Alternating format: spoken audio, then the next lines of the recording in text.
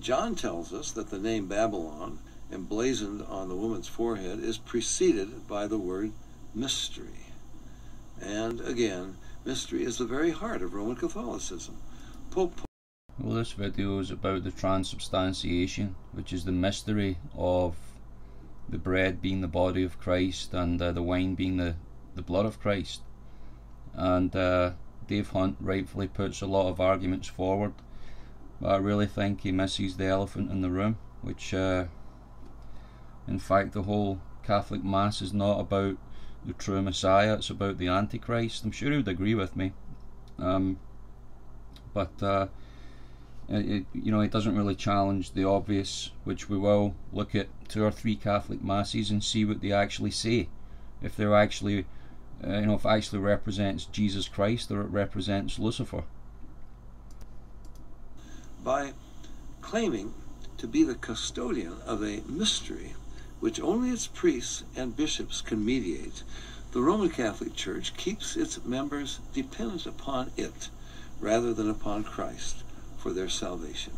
John notes that the woman on the beast is clothed in purple and scarlet.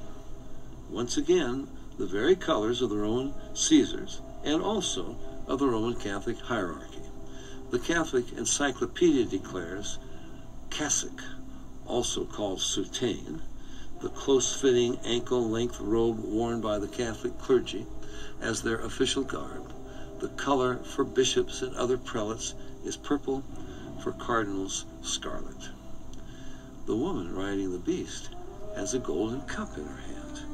A golden chalice is used in the Eucharist or Mass and is the holiest instrument in Roman Catholicism. John perceives that this golden chalice is filled with, quote, the filthiness of her abominations, unquote. Could that be the Bible's view of the sacrifice of the Mass? which is the very heart of Roman Catholicism? With great pomp, fanfare, and ceremony, Pope Francis, the head of the Jesuit order, announced through his cantor the imminent emergence, the near advent of the coming to light of the Antichrist.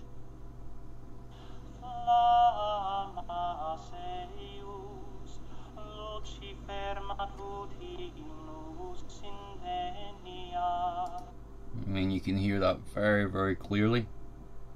A lot of Catholics are known for drinking and, well, sinning. um, the Bible says that my people are destroyed through lack of knowledge. Um, now, the Catholic Church have been doing this in front of masses, performing the Mass in front of masses for a long, long time, feeding this body of the Antichrist to its members for a long, long time, which uh, spiritually is like a harlot to God. That's what it looks like, you know, from heaven. This, this is what this, this whole thing is.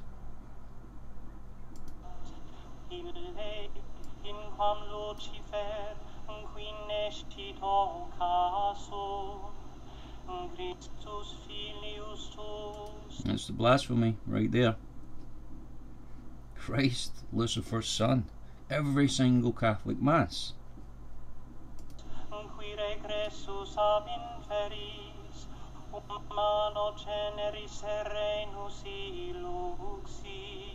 Yeah, I mean, again, people who haven't read the Bible, Isaiah 14:12, and other scriptures talk about a fallen cherub named Lucifer, who is Satan, who is the like the dragon in the book of Revelation. You know, this is uh, the one who tries to set himself up as God and be worshipped as God, just like these people are doing.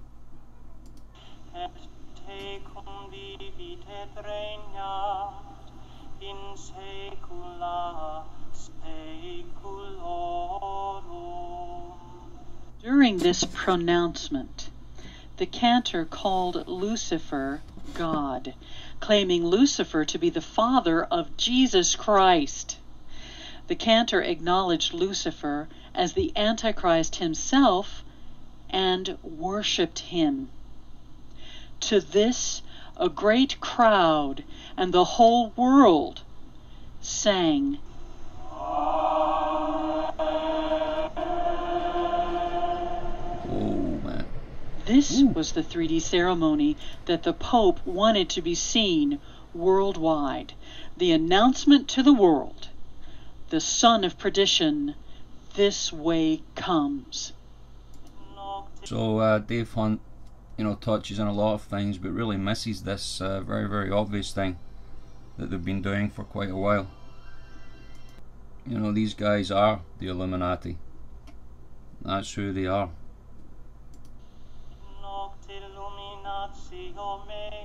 Or Illuminati. Which is the Latin.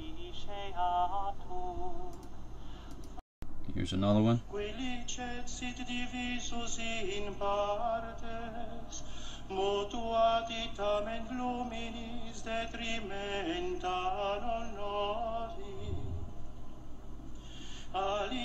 In liquantibus celis, quasi in preciose oius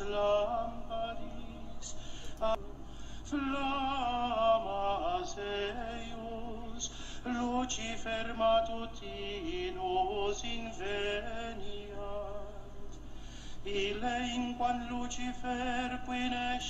I mean, just makes you completely sick. Totally sick, doesn't it? And uh, let's hear a little quick testimony of uh, an ex nun, just in case you're not convinced that the Catholic Church is uh, basically the Church of Satan. It's been the, the Church of Satan for the past 1700 years.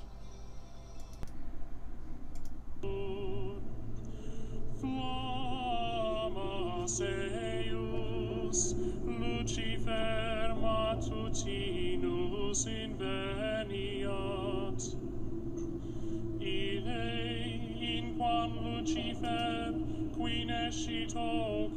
Ille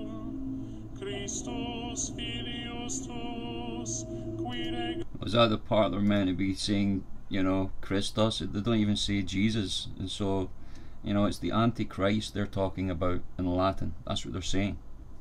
entered the convent as a s- small child. I went on to school, but they were I was being trained. But the day came, uh, possibly I was 14 and a half, when the Mother Superior began telling me about the white veil. And I didn't know too much about it. Uh, but taking the white veil, they told me that I would become the spouse or the bride of Jesus Christ. There would be a ceremony, and I would be dressed in a wedding garment. And uh, on this particular morning, uh, they told me at 9 o'clock, uh, they would dress me up in a wedding garment. Now, you're wondering uh, where that come from and how they get the wedding clothes for the little nuns? The Mother Superior sits down and writes a letter to my father and tells him how much money she wants. And then um, uh, whatever she asks, my father sends it, and she, the little buying sister, goes out and buys uh, the material, and the uh, uh, wedding gown is made by the nuns of the cloister. I'm still open order now. And of course, whatever she asks, now you say, did you spend all the money for the wedding gown? Well, of course, we don't know these things in the very beginning of our testimony, but after we live in a convent for a little while, we learn to know they could ask my father for a $100 and he'd send it. And uh, oh, not that they wouldn't use maybe a third of that for the wedding garment. Uh, Yeah, so I mean, uh, just as the the body of Christ that's that's represented in the Catholic Church is corrupt, and it's definitely the Antichrist uh, body that you're taking there. As Catholics, sorry to say that if you are a Catholic, but uh, yeah, and I've visited one or two in the past in uh, very demonic presence. But sadly, there's a lot of women who join the Catholic Church with good intent um, as she's describing here, not just uh, runaway um, girls and stuff like that, or um, women with uh, girls with behavioural difficulties, but people who genuinely, um, you know, want to serve Christ as, as, as they understand Him. They don't know the gospel.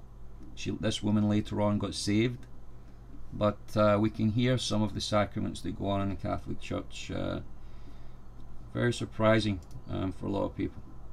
but they would keep the rest of it. My father would never know the difference. Neither did I until I lived in the convent for a period of time. And I had to make some of the wedding clothes, and then I knew the value of them and what they cost, and I knew of the money that came in because I was one of the older nuns. Well, all right. The time came, of course, when I walked down that aisle and I was dressed in a wedding garment. Now, you know, in the uh, convent, I used to walk the Bride of 14 Christ meant to the be cross, the 14 the steps Antichrist, really. across the Calvary. But after I had made up my mind to take the white veil, never again did I walk. I wanted to be worthy. I wanted to be holy enough to become the spouse of the bride of Jesus Christ. And so I would get out on my knees and crawl the 14 stations. It's quite a distance. But I crawled them every Friday morning. I felt it would make me holy. I felt it would draw me closer to God. It would make me worthy of the step that I was going to take. And I mean, people may laugh at this, but you know, this is religion. This is what religious people do. They think that through their works, um, you know, that they can uh, impress God or that they can somehow please God. Um, but you know, it's dead works according to the, the scriptures. She doesn't know this yet, but the initiation here is, is extremely satanic. That's what I wanted more than anything in the world. I would like to impress on your hearts every little girl that enters the convent that I know anything about. That child has a desire to live for God. That child has a desire to give her heart, mind, and soul to God. Now, many, many people make this remark, and we hear it from uh, various uh, types of folk who say only bad women go into convents. That isn't true. There are movie stars who go into convents. and They've lived out in the world. No doubt they are sinners and all of that. But they go in when they're women. They know what they're doing. And they go in only because the Roman Catholic Church is going to receive not only thousands, but yea, it'll run up into the millions of dollars. And they don't mind who they take in if they can get a lot of money out of that. The ordinary little girl that goes in as a child, she's just a child, and she goes in there with a heart and mind and soul just as clean as any child could be. I, I say that because sometimes we hear a lot of things that are really not true. Now, after we become the spouse of Jesus Christ, I want you to listen carefully to, this, and then you can follow me into the rest of the testimony. We are now looked upon as married women. We are looked upon as married women. We are the spouse or the bride of Jesus Christ. Now, the priest teaches every little girl that will take the white veil, they'll become the bride of Christ. He teaches her to believe that her family will be saved. It doesn't make any difference how many banks they rob, how many stores they rob. It doesn't make any difference how they drink and smoke and carouse and live out in, in this sinful world and do all the things that sinners do. It doesn't make a bit of difference. Still, our family will be saved if we continue to live in the convent and give our lives to the convent or to the church. Uh, we can rest assured that every member of our immediate family will be saved. And you know there are many of little children that are influenced and enticed to go into convents because we realize it is a salvation for our families. And sometimes even Roman Catholic families, the children grow up and leave the Roman Catholic Church and go out into the deepest of sin. And so every little girl that enters a convent is hoping by her sacrificing so much, home and loved ones, mother and daddy, everything that a child loves, her family will be saved regardless of what sins they commit. And of course, we're children and our minds are immature and we don't know any better. And it's so easy to instill things like this into the hearts and minds of little children. And the priest is uh, really, he's really good at it. And uh, of course, we look upon our priest, our father confessor, I looked upon him as God. He's the only God I knew anything about. And to me, he was infallible. Looked upon him as God. I mean, that's uh, talk about a cult. You know, talk about a mega cult. And that's what the Catholic Church is. I didn't think he think that he would lie. I didn't think that he ever made a mistake. I looked upon him as the holiest of holy because I didn't know a God, but I did know the Roman Catholic priest. And to me, I, I, looked to him uh, for everything that I ask uh, of any of God, so to speak. I believe the priest could give it to me. And so the day comes when all of us. Now, as we're going in, I want you to listen carefully. After taking the white veil, things are beautiful. I'm 16 and a half years of age. Everyone's good to me. And I'm living in the convent, and I haven't seen anything yet because no little girl, we are not subject to a Roman Catholic priest until we're 21 years of age. And as we give you this next vow, then you'll understand that we don't know about this. This is kept from the little sisters until we've taken our black veil, and then it's too late. I, I don't carry the keys to those double doors, and there's no way for me to come out. The priest will uh, tell all over the whole United States and other countries that sisters or nuns, rather, can walk out of convents when they want to. I spent 22 years there. I did everything there was to do to get out. I've carried tablespoons with me into the dungeons and tried to dig down into that dirt because there's no floors in those places, but I never yet found myself digging far enough to get out of a convent with a tablespoon, and that's about the only instrument. Because when we're using the spade, and we do have to do hard, heavy work, when we use a spade, we're being guarded, we're being watched, uh, by two older nuns, and they're going to report on it. And I'll assure you, you're not going to try to dig out with a spade, and you wouldn't get very far. So what, what she's saying is, is that um, nuns who are in there and they make these vows, and it's a blood covenant, which she'll explain in a second, which is satanic. But there's no way out of there. It's really a concentration camp. Uh, that, that's exactly what it is. It's a concentration camp, a legal concentration camp. Far anyway, because they built, made those convents or built those convents so little nuns cannot escape. That was their purpose in building them as they build them. And there's no way for us to get out unless God makes a way. But I believe God's making a way for numbers of little girls after they come out of the convent. All right, now when the time comes, I, think I was 18 when the mother began talking to me. Now, I planned to come out, see, after my white veil. I wanted to be a little nursing sister in the Roman church. But the Mother Superior, I suppose she was watching my life. I suppose she realized I had much endurance, I had a strong body, and I believe the woman was watching me because one day she asked me to come into her office and she began to tell me, Charlotte, you have a strong body. And she said, I believe you have uh, the uh, possibilities of making a good nun, a cloister nun. I believe you're the type that would be willing to give up home, give up mother and daddy, give up everything you love out in the world, and the world, so to speak, and hide yourself away behind convent doors because I believe you're the kind who would hide back there and be willing to sacrifice and live in crucial poverty that you might pray for lost humanity. She said, I believe you're the kind to be willing to suffer because we are taught to believe as nuns that we, as we suffer, our loved ones and your loved ones that are already in a priest purgatory will be delivered from purgatory sooner because of our suffering. She Again, of course, purgatory is a false doctrine.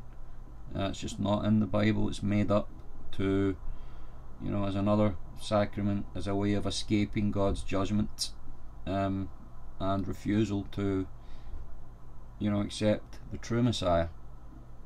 She knew I was willing to suffer. I didn't murmur. I didn't complain. She knew all of that, and she's watching my life, and that's the reason she began to tell me about the black veil. And then, of course, you know, I didn't know too much about a cloistered nun. I, I didn't know their life. I didn't know how they live. I didn't know what they'd done. But, you know, this woman proceeded to tell me.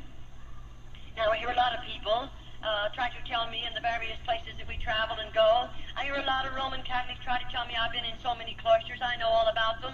But you know, a Roman Catholic can lie to you, and they don't have to go to confession and tell the priest about the lie that they told because they're lying to protect their faith.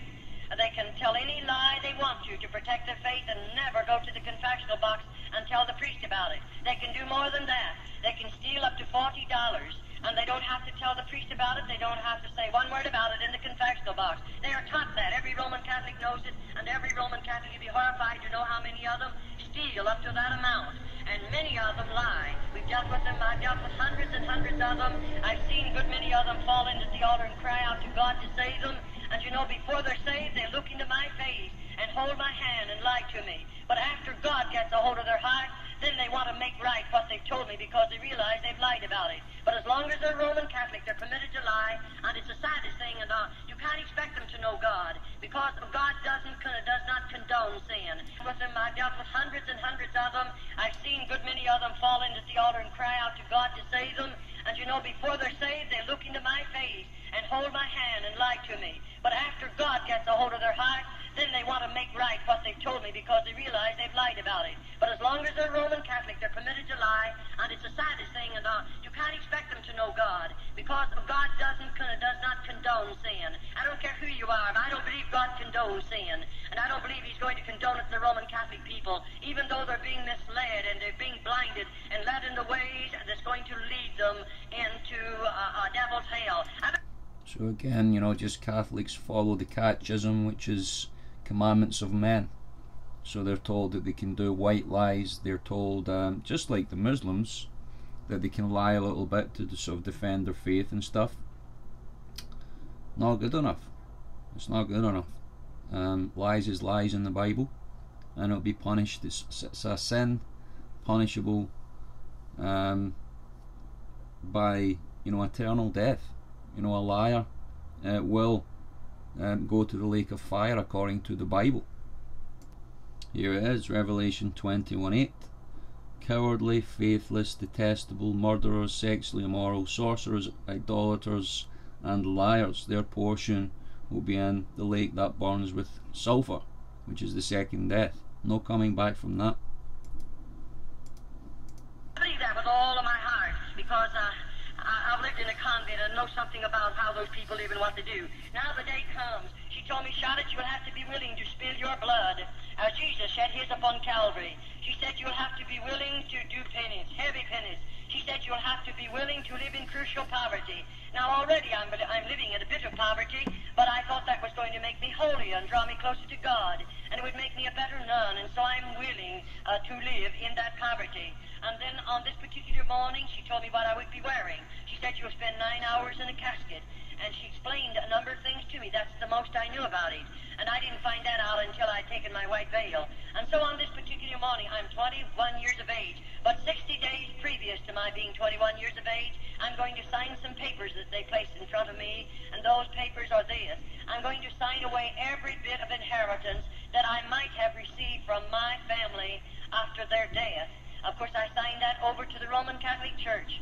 And uh, oftentimes, I say the Roman Catholic priests are enticing girls, uh, not only their background, and not only their strong bodies, their strong minds and strong wills, but he's enticing girls where mothers and fathers have much property, and they are comfortably fixed to the material things of this life.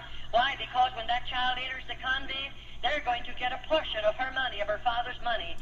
And Yeah, it's kind of like uh, what they did to the Jews in the death camps. You know, just took their gold away, took their money away, put them into the death camps. But this religion, this Catholic religion, is so satanic, so brainwashing, that it's uh, convincing people to do it willingly.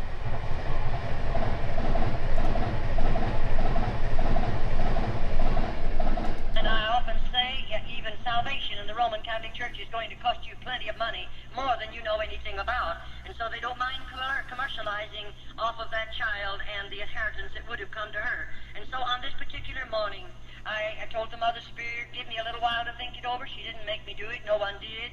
But I thought it over for a couple of years. And then one day I told her, I think I'm going to hide away behind the convent doors because I believed I could give more time to God.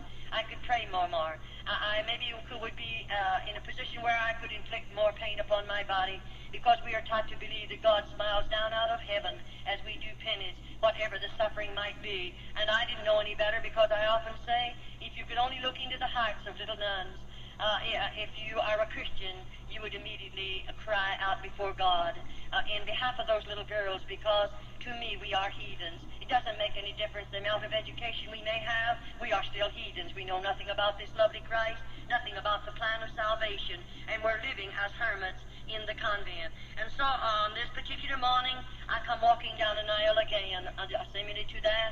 And may I say, uh, the what, morning before, I, I can't go into it too deep because I never would be able to cover enough of it so you could understand it. But this morning, I'm walking down that aisle, but I don't have a wedding garment on. I have a funeral shroud. It's made of dark red velvet, and it's way down to the floor.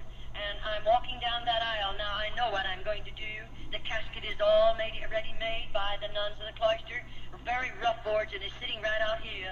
And I know when I come down there that I'll step in that casket and lay my body down, and I'm going to spend nine hours in there.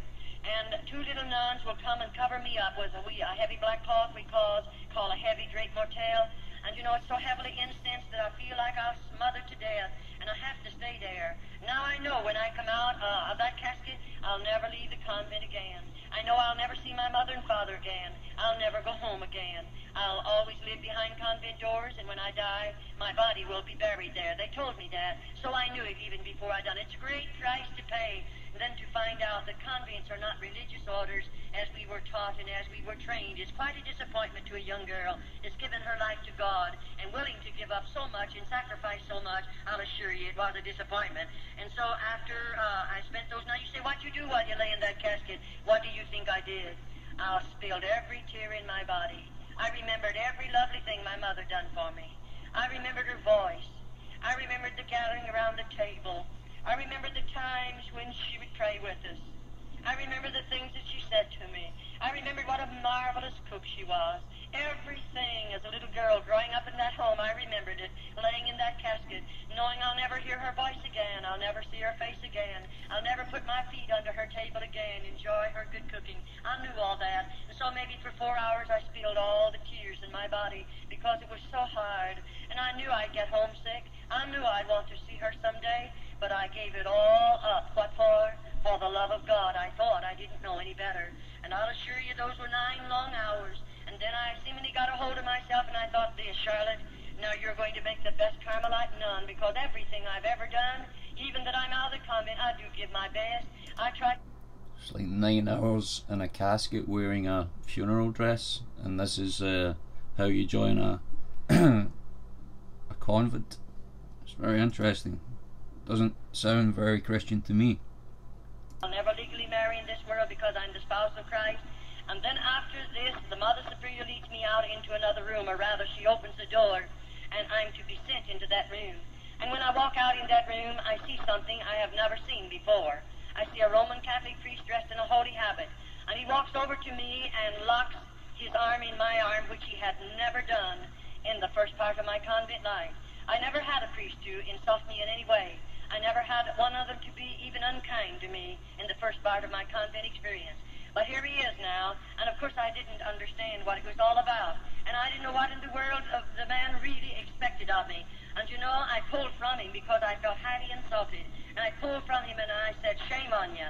And it made him very angry for a minute. And he said, uh, immediately, the Mother Superior must have heard my voice because she came out immediately. And she said, oh, and they called me by my church name. She said, after you've been in the convent a little while, you won't feel this way. The rest of us felt the same way you do. And you know, the priest's body is sanctified. And therefore, it is not a sin for us to give uh, the priest our bodies. In other words, they teach every little nun this. As the Holy Ghost placed the germ in Mary's womb, and Jesus Christ was born, so the priest is the Holy Ghost, and therefore it isn't a sin for us to bear his children. And Well, there you go. It's a bit of a step there, isn't it? She's made, and uh, she doesn't realise what she's done. Obviously, a you know a, a sweet girl, you know, thinking she's given her, devoting her life to serve God, and never heard the gospel.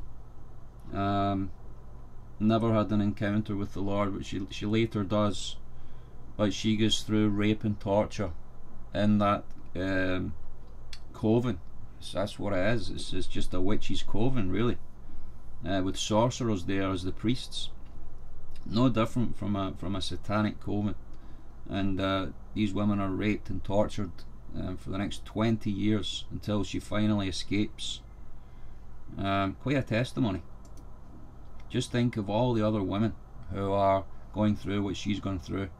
The many millions, possibly, of women throughout the centuries who've um, had to go through this, had to endure this. Walked along beside the Mother Superior. And when I got near the front, I saw those little candles burning. Anywhere in the convent, you'll find the seven candles burning. And when I came a little closer, I saw the candles, but I couldn't see anything else. And I wondered, what she going to do to me? That's the thing in our hearts, and we can't get away from it because we have fear. And when I come a little closer, I saw uh, something lying on a board there. And you know, when I came real close, then I realized here's a little nun lying on that board. I call it a cooling board because it was that. And uh, just as long as her body, and there she was, and when I could see where the candles flickered down on her face, I realized that child is dead. And oh, I wanted so much to say, how did she die? Why is she here? How long do you keep her here? But you remember, I signed away every human right. And so I can't say one word, but I stood looking.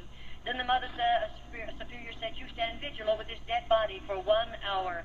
And at the end of the hour, a little bell is tapped, and another nun will come to relieve me. And may I say, I was advised every so many minutes, I have to walk out in the front of that little body and sprinkle holy water and ashes over the body and say, Peace be unto you. And I did exactly what they told me to do. Oh, it was a terrible feeling. I'm not afraid of the dead. It's the live people we have to be very cautious about. And I wasn't afraid of that little dead nun, but oh, my heart ached for her. And, uh, you know, after the bell tapped and I realized my hour's gone, the nun who comes to relieve us comes back here somewhere. And she, of course, we walk on our tiptoes. No noise is made in the convent. And when they don't speak, they just touch you. And of course, my being down there with that little dead nun, and I was full of fear, when that girl laid a hand on my shoulder, I let out a scream, a horrible scream, from fear, just fear. And you know, I, did, I, I didn't mean to do it. I didn't break that rule on purpose, but I was scared.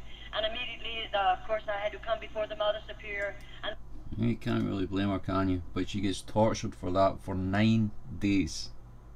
Nine, strung up for nine days by her thumbs. She gets for that uh, outburst. of 800 babies have been discovered buried in a septic tank in Ireland. The grisly discovery was made at a home for unwed mothers in Yam, located in Galway County. St. Mary's Mother and Baby Home was operated by Bon Secours nuns between the years of 1925 and 1961. Examination of the bodies show most of the children died of disease and malnutrition. Others perished from diseases such as measles, pneumonia, and tuberculosis. The dead children were buried in simple shrouds with no coffin or tombstone to mark their final resting place. Today, the mass grave is surrounded by a housing unit, and due to the nature of the discovery, authorities may order the site to be exhumed. A source close to the investigation said, quote, God knows who else is in the grave. It's been lying there for years, and no one knows the full extent or total of bodies down there. And, you know, the thousands of reports worldwide that similar things have been happening. One of them between uh, a convent and somewhere priests stayed. Such was the conviction of hundreds of thousands of Christians throughout history who were burned at the stake for refusing to participate in the sacrifice of the Mass, which they earnestly believed was the greatest abomination conceivable. Why? Because it claims to be the literal sacrificial offering presented again and again of the body and blood of Christ whereas the Bible clearly states that Christ's sacrifice upon the cross was completed once and for all, never to be repeated again. Quote, Well, yeah, I think we know why these uh, people didn't take part in the Mass because they probably understood Latin and they knew just by the very presence of these pagan priests and the fact that they worshipped other deities and, and the names of other deities, which we've gone over in this video. Um, you know, this is the scripture that speaks about the, the body and the blood of Jesus Christ. Um, that yes, when you, you drink the wine, you should remember that the blood that, that Yeshua shed for us and broke his body for us. Uh, yes, we should remember him, but we should be born again first um, crying out to Him for mercy and forgiveness. We don't need to confess every single little sin, but we must uh, call out to Him, um, admitting that we are sinners and asking Him into our life to be our Lord and Saviour. Um, that's what the basis of Protestant Christianity is. And in doing this, at the Lord's Supper, we can uh, be strengthened and the fact that we can examine ourselves, as it says here in verse 28. And so let him eat of the bread and let him drink of the cup, but let your examine yourself first. You know, if you've been lying, if you've been stealing, these are not the things of God. You must um, repent about these things before you take the, the body of Christ. Uh, but not to a Catholic priest, but to the high priest as it says in Hebrews. Um, I believe it says it in Hebrews. Let's have a look at that. Hebrews 9.